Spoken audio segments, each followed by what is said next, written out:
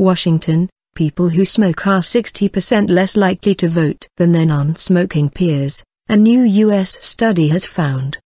The study is the first to link a health risk behavior with electoral participation, researchers said. One on hand, the result is intuitive. We know from previous research that smokers are an increasingly marginalized population, involved in fewer organizations and activities and with less interpersonal trust than non-smokers, said Karen Albright, from the University of Colorado Cancer Center, and the paper's first author. But what our research suggests is that this marginalization may also extend beyond the interpersonal level to attitudes toward political systems and institutions, said Dr. Albright.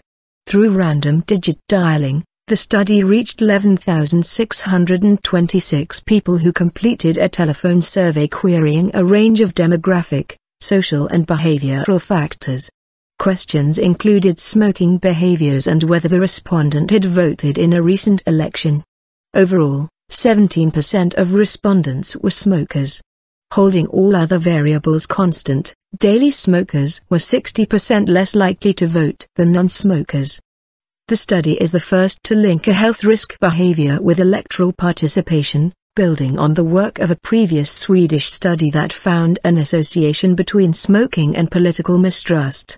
Voting is a direct behavioral measure of civic and political engagement that at least partly reflects trust in formal political institutions. One possibility is that smokers may view political institutions as oppressors, given widespread enactment of tobacco taxes and clean indoor air laws, researchers said.